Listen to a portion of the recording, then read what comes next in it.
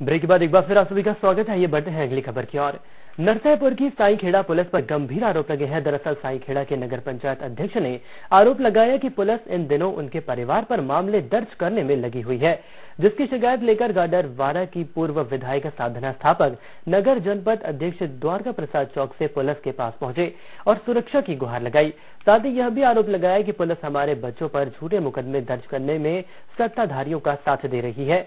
वहीं शिकायत पर पुलिस अधीक्षक ने मामले को गंभीर संज्ञान में लेते हुए गंभीरता से निराकरण का आश्वासन दिया और दोषियों पर कार्यवाही की बात कही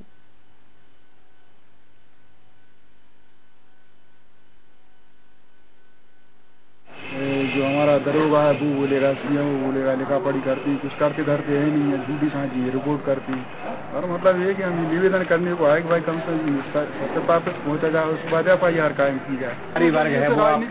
व्यू रचना है मतलब कैसे सिलेंडर करना या बदनाम करना ये सब साजिश के तहत किया जा रहा है। सफ़ाई वफाई कर्मचारियों का उसमें दोष नहीं जो पीछे जो लगे लोग लगे हुए हैं वो ये सब करा रहे हैं।